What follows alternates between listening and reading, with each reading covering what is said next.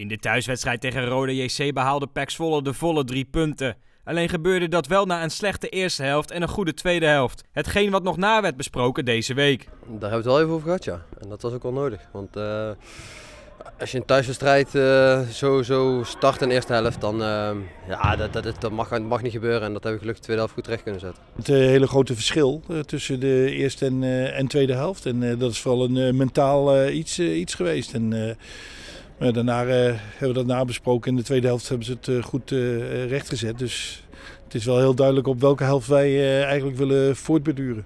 Waar PEC Zwolle de laatste vier thuiswedstrijden winnend afsloot, gingen de laatste drie uitwedstrijden verloren. Tijd voor PEC Zwolle om dit te doorbreken aanstaande zaterdag tegen AZ. Ja, als wij thuis alles winnen, dan zou ik niet eens ontevreden zijn. Maar vorig jaar hebben we uit 16 punten gehaald, dacht ik. 16, ja, uh, 37, ja, 16 punten. En we hebben er nu 15. Dus we moeten eigenlijk uit in ieder geval nog één keertje winnen. Om het in ieder geval beter te doen dan, uh, dan vorig seizoen. En uh, wat we vorig jaar thuis hebben gedaan, dat valt bijna niet te overtreffen. maar ook na de winterstop doen we thuis ook, ook gewoon goed. Maar uit zou wel leuk zijn om dat eens een keer te doorbreken. Met name omdat nu, ja, nu naar het einde is elke, elke punt, elke goal kan belangrijk zijn om eventueel play-off te spelen of niet. Dat is niet onmogelijk morgen. Nee, het is niet onmogelijk, want anders uh, blijven we lekker thuis. Nee, daar geloven we wel in. Nou ja, we staan drie punten achter op AZ. En uh, wij willen meedoen voor de play-offs. We willen daar uh, op het einde van het seizoen nog wedstrijden in spelen. Dan, ja, dan zal je nu, iedere wedstrijd is heel belangrijk. En, en nu worden de prijzen verdeeld. En dan moet je zorgen dat je winst punten gaat pakken. Sowieso de thuiswedstrijden, nou, dat, dat, dat, doen we de laatste tijd wel goed. Maar ja, in de uitstrijd moet je even bonuspunten gaan halen. Wij moeten gewoon top zijn om uh, daar met drie punten naar huis te gaan. En uh, volgens mij heeft Pek nog niet zo vaak uh, gewonnen in, in Alkmaar.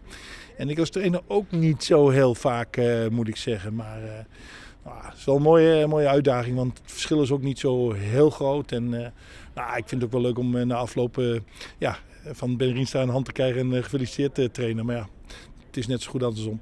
Het wordt gewoon een hele moeilijke wedstrijd uit. We uh, ja, AZ is een goede tegenstander, dus ja, we zullen volle bak moeten gaan en dan moet, uh, het onze kant opvallen. En dan moeten we zorgen dat we genoeg kansen creëren en uh, achterin goed dicht houden.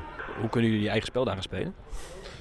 Um, nou ja, wat AZ graag wil, en zeker in thuisstrijd, is dat ze wel willen voetballen en spel willen maken. En nou ja, dan komt er voor ons uh, hopelijk wat ruimte op, op het middenveld voorin. En uh, ja, vandaar kunnen wij uh, heel effectief voetballen en dat, dat willen we ook gaan doen. Dus ja, dan kunnen we ons eigen spel spelen door, door onder hun druk uit te komen en dan te gaan voetballen. Wel reist Pek morgenavond af naar Alkmaar zonder Bram van Polen en Stef Nijland. Bram heeft, is uitgevallen tegen Rode C. Hij kreeg een schop op zijn scheenbeen en daar had hij echt een, behoorlijke wond. Maar dat is het probleem niet. De enkelbanden zijn ook ja, toch beschadigd. Dus de enkel was dik en het lopen ging al niet goed. Dus ik verwacht in NEC dat het ook heel lastig wordt.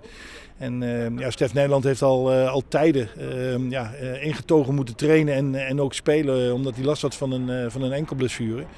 En hebben een, een, een, scan van gemaakt. En die heeft in ieder geval tot en met de NEC rust. En dan hopen we dat hij daarna ook weer aansluit.